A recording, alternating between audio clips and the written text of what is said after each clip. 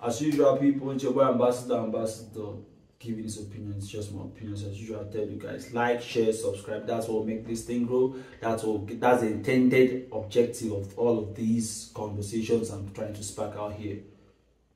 More people having this conversation. So today I'll be talking about why we need to take ownership of our future. But there are a few questions that keep me up at night. The first one is who will own our future unicorns?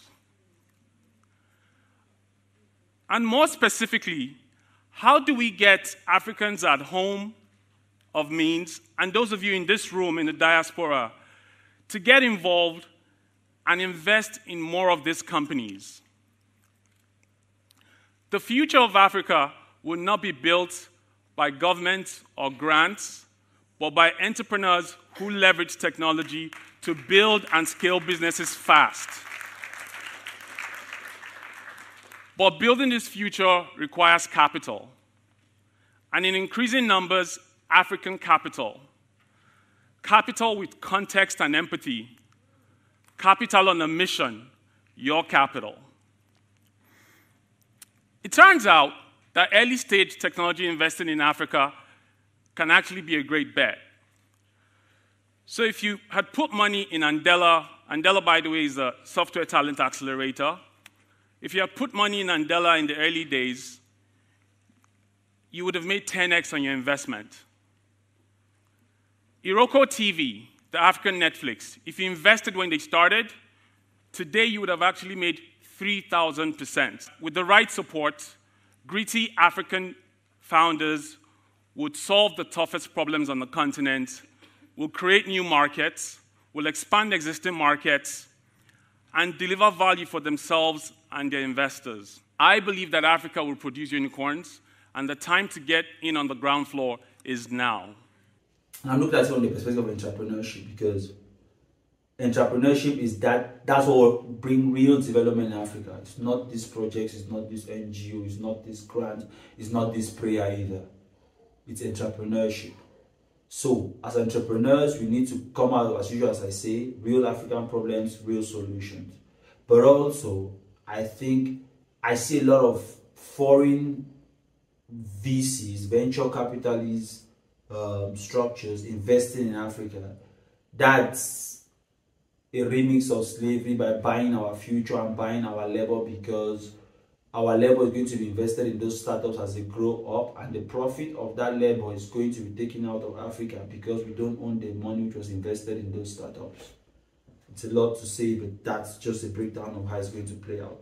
So if we as africans don't take ownership of our future by investing in our startups that's just only going to make us we're already planning to be poor in the future. And that also means that we don't believe in ourselves.